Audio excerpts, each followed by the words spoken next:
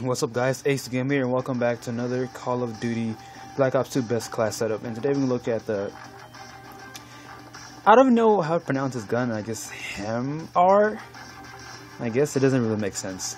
But anyways, this is one of my favorites and favorite light machine guns ever. It is the very last light machine gun you unlock so I'm going to go ahead and get that. And for the first attachment I want you guys to use of course the grip because the accuracy it, it goes up by four slots. So make sure to get that for the first attachment. And the second attachment I'll use the suppressor. This is this is basically like some sort of uh, a stealthy class even though light machine guns are not really stealthy but if you have suppress on it, it'll be really stealthy. And for the perks perk number one go ahead and use lightweight. And perk number two before you even select anything go ahead and enter the wild cards here and get perk two greed.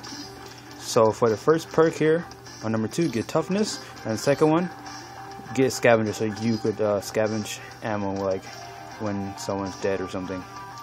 Anyways, for perk number three, get dexterity, and for lethal, first lethal, go ahead and use the Semtex. Don't use the C4. And then finally, for the secondary, use a Tac-45. It's a, uh, a pistol. Oh, almost a machine gun. But anyways, it's a pistol. And there it is guys, if you enjoyed the video, please make sure to hit that like button, subscribe to my channel if you haven't, and stay tuned for more amazing video. Have a nice day and peace out.